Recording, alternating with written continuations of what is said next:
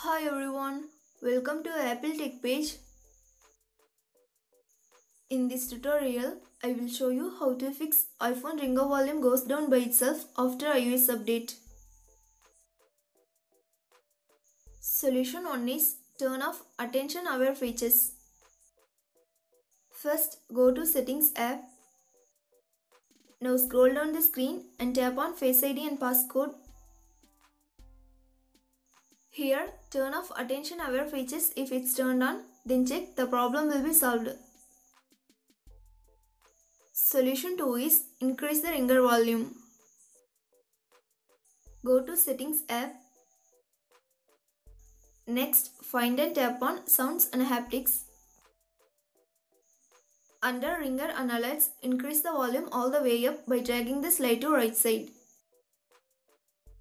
Turn on change with buttons if it's turned off. Then press the volume up button to increase the sound. Once done, turn off change with buttons. Solution 3 is make sure that do not disturb is turned off. Go to settings app. Now find and tap on do not disturb. Make sure that do not disturb and schedule is turned off. Solution 4 is restart your iPhone. Go to settings app.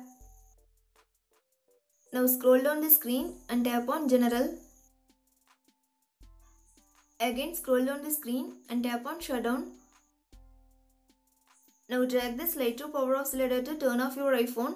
Wait for 30 seconds and turn on your iPhone.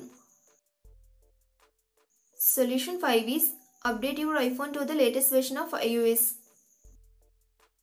First, connect your device to Wi-Fi and go to Settings app. Next, tap on General.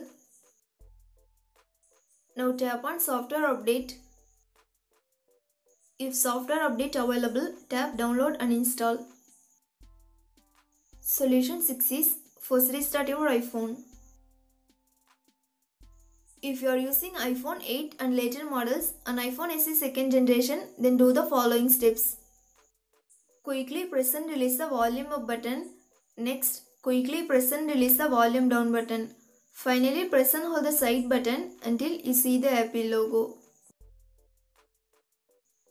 If you are using iPhone 7 and 7 Plus, then do the following steps. Press and hold the side button and volume down button at the same time until you see the Apple logo. If you are using iPhone 6s Plus and earlier models, then do the following steps. Press and hold the home button and side button at the same time until you see the Apple logo.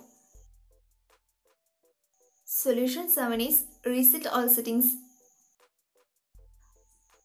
Reset all settings will reset your all customized settings to default settings like notifications, alarms, ringtone and etc but no data or media will be deleted like your photos, messages, mails and etc.